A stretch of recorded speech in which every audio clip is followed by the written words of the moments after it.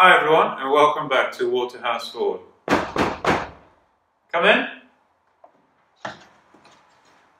Hi, I thought I'd join you. Hello. Hi. Thanks for joining me. Um, what are you doing today? Well today we've got just a short video. We need to remove the valve stem guards from the cylinder here. Do you remember that tool that we made to push them out with? Yeah. So we're going to show people the tool. We'll talk a little bit about the tool and how we made it. And then we'll come over to the press and we'll push them out. And that's pretty much all we're going to do today. Okay. Do you want to get going? Yeah. Cool, let's do it. Okay, so last week you'll remember when we were stripping the cylinder head, uh, I showed you the valve guards that needed to be pushed out. Now, the biggest problem we've got, so, so this is one of the new ones supplied by Anglo Agriparts, and it's, I mean, so you can see the, the kind of dimension and, and what it is, and basically it's just, it's literally just a press fit inside the cylinder head. But the problem that we have is that you've got a, it's about a 30 mil deep combustion chamber to, to get in there in order to access the bottom of this. And then you can see that's, uh, that's quite a, well it's not extremely long, but quite a long way to have to drive something through. So what we made, and the other thing is it has to be pushed out straight. So what we made, now excuse the turning, this is the first thing I've ever metal or turned in metal, so it's not a perfect job, but dimensionally it's fine. It's just not very smooth here on the, the handle, on the drift part. But basically what I've done is we've got this tiny nib on the end which literally fits inside that valve guard. Okay, it's a very it's a loose fit, but it's as as close as it can be without it binding. And then what we've got, hopefully you can see the diameter of this push rod is smaller than the diameter of the valve guard itself. And then of course what I've made sure of is that it's about the length of the valve stem guard, is the valve, yeah, the valve stem guard as well. So what that means is we should be able to put this in the press and push it all the way through the head and have enough travel in this distance here to be able to push it all the way out. Most of the time you don't have to go all the way, but if we needed to we can. And that's what we're going to use to push these valve stem guards out of the cylinder head. So let's go over to the press and do that now. Um, yeah, we've got just about everything we need. Okay. Now, I'm going to need you to put this in, okay, because I'm going to be holding, so I need, I need to take the weight of the cylinder. So, you need to put it in, and obviously make sure that it goes into the, that little, that piece there has to go inside the Thing yeah? Right, there you go.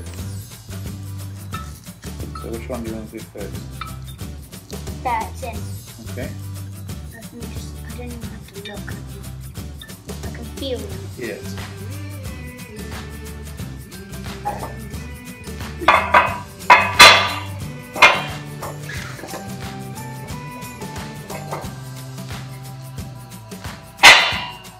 Okay, move that one left uh, to your right, and the other one same way, close to the together. More. Okay.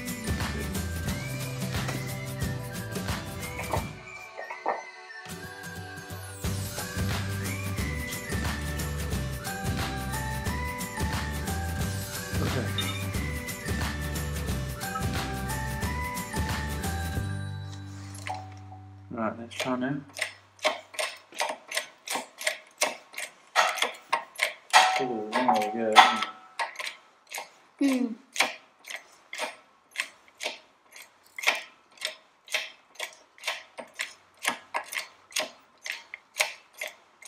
Hmm. Now we're doing Heath Robinson. Yeah. Dad!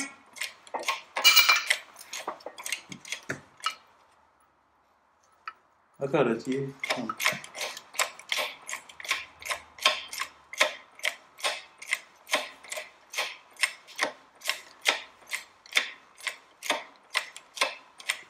stop. Now what I want to do is make sure that that's as straight as possible.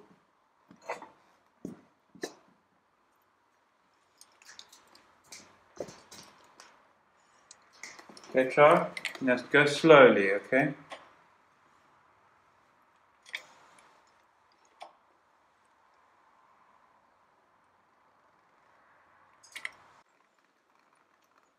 Ah. Oh.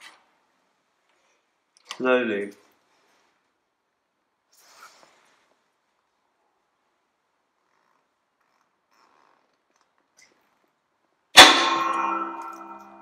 Okay, keep going. Oh.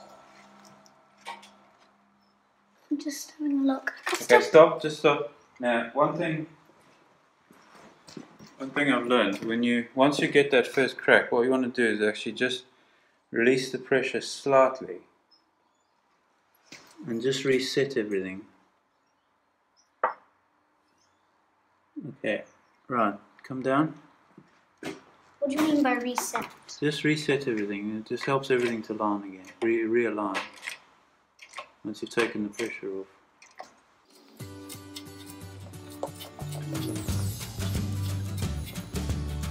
Ah, I can see one popping down. Yeah. Okay. Understand, yeah? Yeah.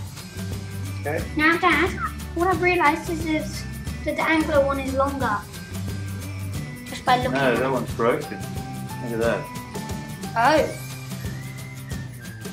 Where's the other bit? That's a good question. Still in there, probably.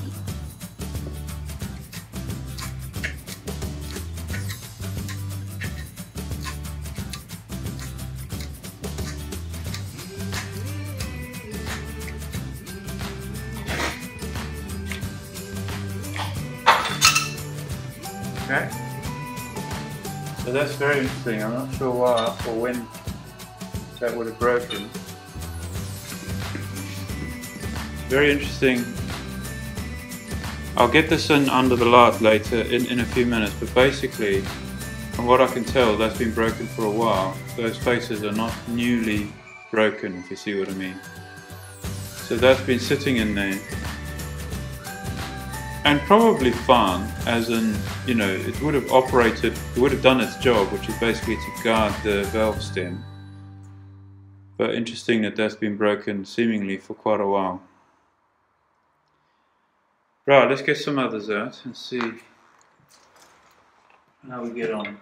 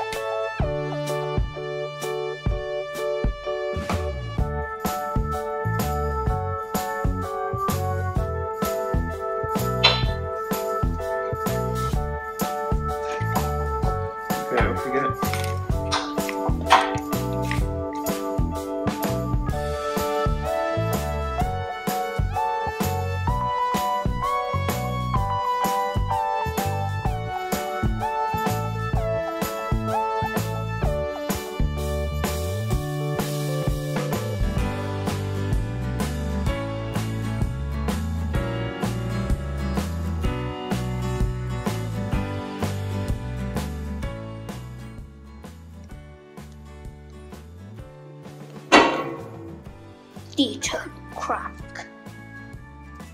Keep going. You go back. Okay, go back, yeah.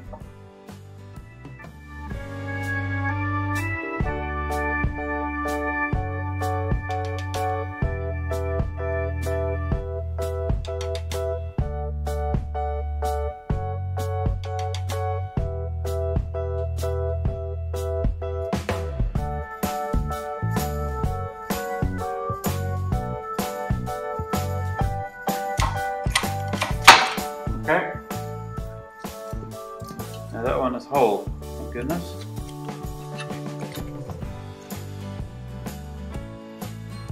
And in much better condition than the other one as well.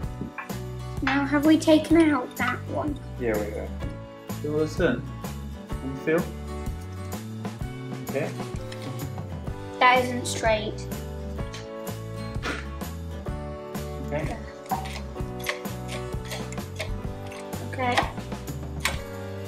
Be ready for the eternal crack.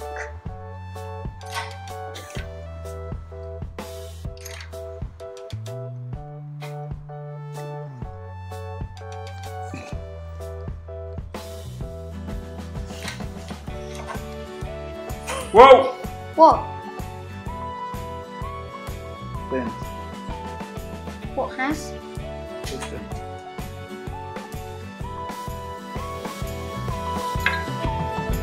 Oh, Oh, that's not good.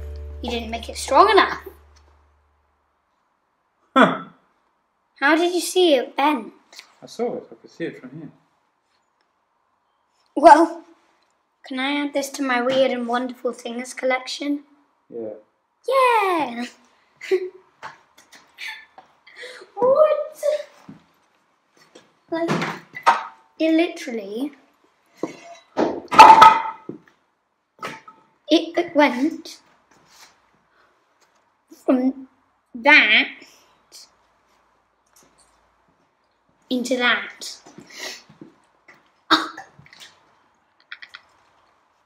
Wow. That is incredible. Right. Well, seems we're going to have to go back to the drawing board. Uh, this is what we ended up with. You can see the deformation that happened on the point there as well. Um, I probably should have checked this before we carried on, after we did the first and, and even the second one. Uh, but when it came to doing that third one, it literally just bent, buckled um, up here. Now, the problem we've got is it can't be, this can't be, this shank can't be any thicker to make it stronger because it has to be able to go through the hole that the valve guard is sitting in. I mean, it could maybe be about maybe one millimeter more, you know, thicker in diameter. We've probably got a little bit more clearance than we need at the moment. Um, the other problem we've got is if we, I mean, I don't currently have any way of doing this, but if even if we did, if we had a way of, of strengthening, so hardening this metal, the problem I foresee with that is that that would make this very brittle and, and subject to shattering, which I certainly don't want to be putting something like that in the press. So, ideas in the comments. Uh, what do people think? Um, I suppose on the one hand, what are we doing wrong? If we're doing something wrong, let us know. Um, I suspect the issue here is that these valve stem guards have been in there for a very, very long time. Pretty much like everything else that we've come across on this tractor. Uh, most things have seemingly been there for a long time. They've been very tough to get out. Uh, but of course, once you get them out, then you know everything seems to be in reasonable condition. But nevertheless, uh, uh, the, the issue here, I believe, only is that these things have been sitting there for a very long time, um, and they just are very well seated. I don't think there's any other anything else going on here. Anyway, um, give me some ideas. Let me know what you think. Um, heating's not really going to be an option. I don't think that. I mean, they're, they're obviously sitting right in the middle of the head itself, so you'd end up having to heat the whole head to get any any sort of um, any heat of significance onto that part. Perhaps I could try heating just the the valve seat itself. That might work. Um, yeah. Um, welcome your comments, uh, ideas, uh, and anything else that you guys, um, yeah, well, I mean, obviously, any ideas would be greatly appreciated. So, look, that's it for this week. Um, look forward to your comments, look forward to hearing from you. And, uh, and of course, hopefully by next week, we'll have solved the problem, come up with another idea, and uh, we'll be able to proceed. But uh, for this week, from Oscar and I, thank you very much, and see you next week. See Bye for now. Bye.